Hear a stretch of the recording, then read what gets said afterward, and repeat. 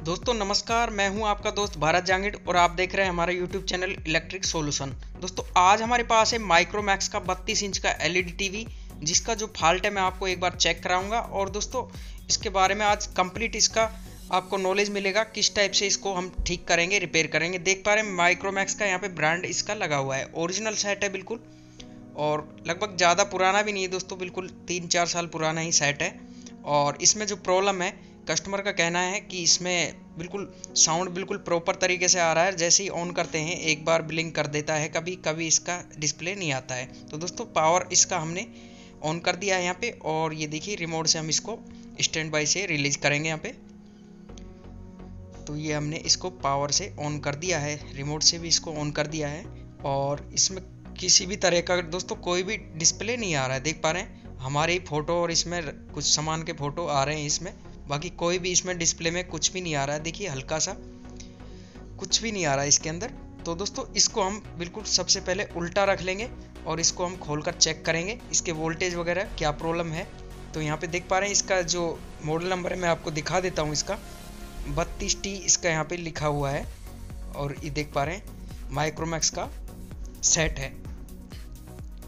तो दोस्तों, इसमें दो पेज लगे हुए हैं पीछे की तरफ़। इसका जो मदरबोर्ड लगा हुआ है, उसका जो कवर है, इसको यहाँ पे निकाल देंगे सबसे पहले। तो मल्टीमीटर लेंगे मल्टीमीटर को रखेंगे डीसी वोल्ट रेंज पर। 200 पे हमने मल्टीमीटर को रखा है। इसके बाद में दोस्तों देख पा रहे हैं। सबसे पहले आपको यहाँ पे ये बैकलाइट के दो वायर जो कि यहाँ पे अंदर डिस्प्ले के अंदर जा रहे हैं यहाँ पे सीधे। इनके ऊपर हमको मल्टीमीटर लगा लेना है और इसके बाद में यहाँ पे देख पा रहे हैं, सत्ताईस वोल्ट के समथिंग आ रहे हैं। जैसे ही हम इसको ऑन करेंगे, देखते हैं इसके वोल्टेज बढ़ते हैं या कितने होते हैं। वोल्टेज इसका लगभग साठ वोल्ट के आसपास आना चाहिए कंटिन्यू तो दोस्तों, बिल्कुल पचपन वोल्ट तक इसका जा रहा है, उसके बाद तुरंत ड्रॉप हो रहा है। जैसे ही हम एक बार इसको ऑन कर रहे हैं, उसके बाद में वापस इसका जो 27 या 25 वोल्ट पर आके रुक जाता है। तो दोस्तों, इस कंडीशन में ज़्यादातर बैकलाइट का ही फॉल्ट होता है। तो यहाँ पे सबसे पहले हमको मदरबोर्ड को के जो जिक है, उनको खोल दिया यहाँ पे, जो आईआर और स्पीकर के जिक निकालने के बाद में। दोस्तों, जो इसका नीचे की तरफ़ ये देख पा रहे हैं साउंड बार इसके साथ यहाँ पे लगा हुआ है, जिसमें इसका पैनल जो कि ऑन ऑफ़ की बटन वगैरह और आईआर वगैरह हैं इसको पूरे को यहाँ पे, इस पूरे साउंड बार को यहाँ से निकाल देंगे। तो साउंड बार इसका निकल चुका है, इसको रख देंगे हम साइड में।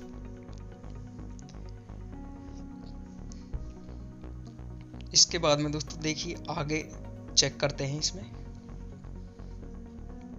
तो दोस्तों वीडियो थोड़ा लंबा है, बाकी पूरी नॉलेज आपको मिलेगी इस वीडियो में। तो यहाँ पे देख पा रहे हैं, जो इसका एल बी केबल है यहाँ पे, इसका पैनल में जो कनेक्ट है, इसको हमने मदरबोर्ड से निकाल दिया है।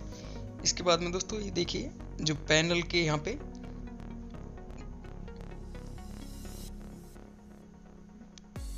देख पा रहे हैं, यहाँ पे इसका जो कार्ड लगा हुआ है, इसको यहाँ पे दोनों तरफ़ से टेप लगाई हुई है यहाँ पे, जिससे कि इसको बिल्कुल फिक्स किया हुआ है। टेप हटाकर यहाँ पे, रबड़ के लॉक हैं दो इनको ऊपर उठाकर इसको हमने यहाँ से फ्री कर दिया है। इसके बाद में दोस्तों देखिए, जितने भी इसमें यहाँ पे पेच लगे हुए हैं, इनको भी हम खोल देंगे। चार पेच नीचे की तरफ़ है दोस्तों। छः लगे हुए हैं, बाकी हमको बिल्कुल जो हमारे आगे क्रोम में कसे हुए हैं, उनको ही खोलना है, क्योंकि क्रोम को हमें पूरा खोलना होगा पैनल को। तो वीडियो पूरा देखना है दोस्तों पैनल खोलने की पूरी नॉलेज आपको इस वीडियो में मिलने वाली है। तो यहाँ पे दोस्तों देखिए एक एक पेज ऊपर की तरफ़ भी कॉर्नर में लगे हुए हैं। तो सभी पेज खोलने के बाद में ये देखिए जो कि हमारी एलईडी पैनल के अंदर यहाँ से दो वायर की जिक जा रही है, इसको भी हमने निकाल दिया है और ये पावर केबल का जिक है, इसको भी यहाँ पे निकाल दिया है। तो हमारा मदरबोर्ड बिल्कुल फ्री हो चुका है। मदरबोर्ड को रख देंगे साइड में क्योंकि मदरबोर्ड मोड है जो हमारा बिल्कुल ओके है, इसमें कोई फॉल्ट नहीं है। तो ये देखिए, इसके बाद में पावर केबल को भी हमने खोल दिया है। पावर केबल को भी फोल्ड कर कर। चलिए, पूरा सामान एक जगह, इसका जो बैक कवर है, इसके अंदर ही पेच वगैरह सब सेट करके रख देंगे। ताकि इधर उधर फैलेंगे भी नहीं। और ये देखिए, एल, जो हमारा पैनल है इसको खोलने के लिए दोस्तों, इस टाइप से आपको पकड़ लेना है, खड़ा रख और बिल्कुल वन बाय वन काफ़ी आसानी से आपको यहाँ पे बिल्कुल जल्दबाजी बिल्कुल नहीं करनी है, वरना आपका जो पैनल है, क्रैक हो जाएगा और आपका काफ़ी अच्छा खासा नुकसान हो सकता है यहाँ पे। इस चीज़ का हमेशा ध्यान रखें। बिल्कुल यदि आप इस चीज़ में आपको बिल्कुल एक्सपीरियंस की ज़रूरत काफ़ी ज़्यादा होने वाली है।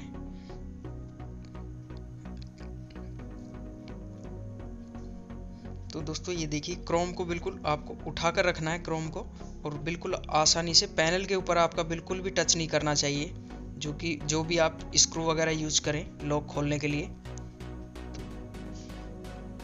तो साइड में भी इसमें देख पा रहे हैं कॉफ होती है, उसका भी आपको ध्यान रखना है यहाँ पे। नुकीली चीज़ बिल्कुल यूज़ नहीं करनी है।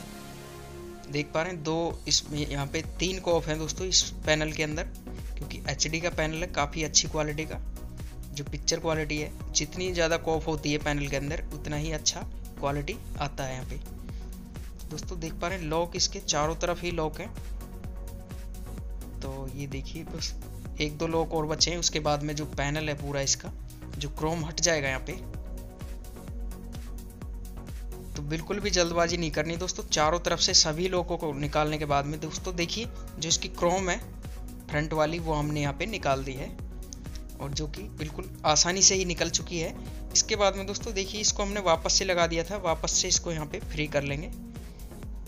और ये देख पा रहे हैं दोस्तों, यहाँ पे टेप लगी हुई है, जो कि पैनल को और नीचे की तरफ़ जो इसका बेस है, सभी को कवर करके यहाँ पे टेप लगाई हुई है। इस टेप को आपको पूरा निकालना होगा यहाँ पे। टेप निकालने के बाद ही आपका पैनल आगे खुलेगा। इसके बाद में दोस्तों देख पा रहे हैं, जो हमारे मेन पैनल का बेस है उसको बिल्कुल आपको कंप्लीट निकालना होगा। इसके अंदर भी आपको लॉक मिलेंगे चारों तरफ़। और ये टेप लगी हुई है, इसको भी हमें पूरा ही निकालना होगा। क्योंकि ये बिल्कुल यहाँ तक चिपका हुआ है। देख पा रहे हैं, जो इसका नीचे का वाला हिस्सा ऊपर की तरफ़ आया हुआ है यहाँ पे, इसको भी हमें निकालना होगा पूरी टेप को। तो दोनों तरफ़ से टेप निकाल दी हमने, दो ही टेप इसमें लगी हुई थी। और हल्का सा आपको कॉर्नर से उठा के रखना है। पैनल को ज़्यादा नहीं उठाना है, वरना जो पैनल है आपका बिल्कुल क्रैक हो जाएगा तुरंत ही। और बिल्कुल हल्के हल्के से आपको वन बाय वन सभी लोगों को यहाँ पे निकाल लेना है चारों तरफ़ से। और इसके बाद में दोस्तों काफ़ी आसानी से ये देखिए, जो पूरा पैनल फ्री करने के बाद में इसको भी हम यहाँ पे रख देंगे। कॉफ यहाँ पे दोस्तों काफ़ी, ये काफ़ी नाजुक हिस्सा है, सबसे ज़्यादा नाजुक हिस्सा यही होता है एलईडी का और सबसे कॉस्टली भी हिस्सा यही होता है। तो सभी जो कि फ़िल्म पेपर वगैरह हैं इसके रिफ्लेक्टर पेपर वगैरह, सबको एक साथ ही हमने उठा लिया है यहाँ पे और इसको हम रख देंगे पीछे क्योंकि इसके बाद में हम पूरा चेक करेंगे, इसमें और क्या प्रॉब्लम है। तो इसको थोड़ा हम पीछे अपने केबिन में रखेंगे क्योंकि ये हमारा फ्रंट वाला काउंटर है यहाँ पे।